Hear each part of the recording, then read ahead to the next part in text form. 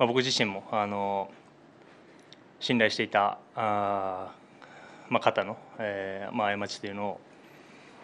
えー、悲しくというか、まあ、ショックですし、えー、今はそういうふうに、えー、感じています。えー、まず初めに、えー、僕自身は、えー、何かにかけたりとか、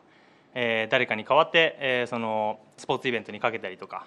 えー、それをまた頼んだり、えー、っていうことはないですし、えーまあ、僕の口座からブックメーカーに対して誰かに送金を依頼したことももちろん全く、えー、ありません、えーまあ、本当に数日前まで、えーまあ、彼が、えー、そういうことをしていたっていうのも、まあ、全く知りませんでした、えー、彼がまあ僕の、えー、口座からお金を、えー、盗んで、えー、なおかつ、えーまあ、みんな僕の周りもそうですね。みんなに、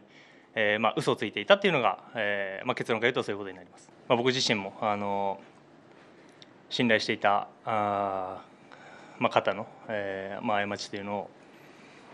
えー、悲しくというか、まあ、ショックですし、えー、今はそういうふうに、えー、感じています、えー、まず皆さん、えー、来ていただいてありがとうございます。僕も話したかったので、えー、嬉しく思ってますし、えーまあ、チームの関係者の皆さん僕自身もそうですけど、えー、ファンの皆さんもここ1週間ぐらいですかね厳しい、えー、1週間だと思うんですけども、まあ、メディアの皆さんも含めて、えーまあ、我慢と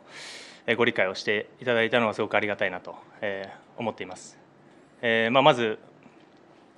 まあ、僕自身もあの信頼していたあ、まあ、方の、えーまあ、過ちというのを、えー、悲しくというか、まあ、ショックですし、えー、今はそういうふうに、えー、感じています。えー、まず初めに、えー、僕自身は、えー、何かにかけたりとか、えー、誰かに代わって、えー、そのスポーツイベントにかけたりとか、えー、それをまた頼んだり、えー、っていうことはないですし、えーまあ、僕の口座からブックメーカーに対して